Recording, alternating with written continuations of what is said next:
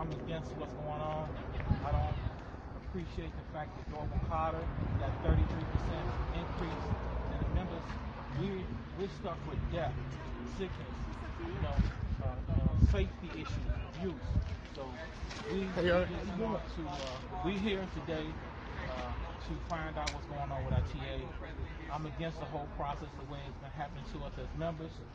And uh, that's all I have to say at this particular. Unless you have any other questions for me to ask. Uh, did you have any comment about the possible uh, work stoppage over the Van Dyke situation? Uh, no, I'm not going to make any comment on that. You have to go, the work stoppage, that will have to go through the union leadership. So you have to talk to them about that. Thank you. Okay?